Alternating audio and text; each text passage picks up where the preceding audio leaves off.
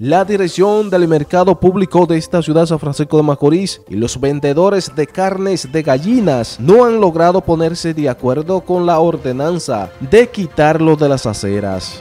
Estamos cansados de esto, ya, ya somos un cáncer en la televisión.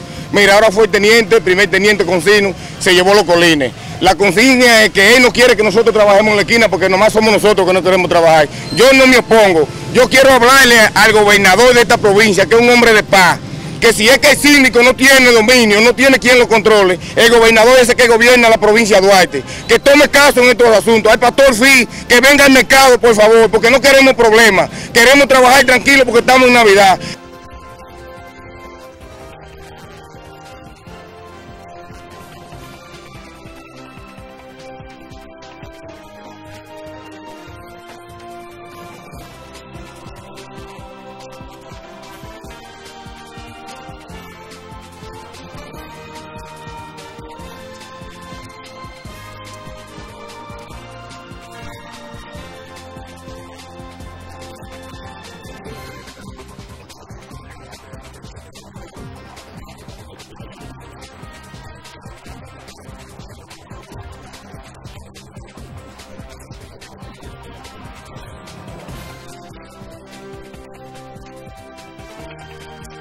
NTN, su noticiero regional, Robinson Polanco.